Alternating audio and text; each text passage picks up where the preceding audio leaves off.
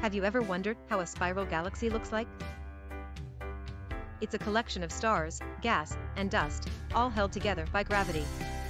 Spiral arms wrap around a central bulge, creating a mesmerizing cosmic spiral. These galaxies are often filled with star-forming regions and young stars. Astrophysicists are still exploring the mysteries of these stunning structures. So, did you know these fascinating facts about galaxies? You can read more in the description.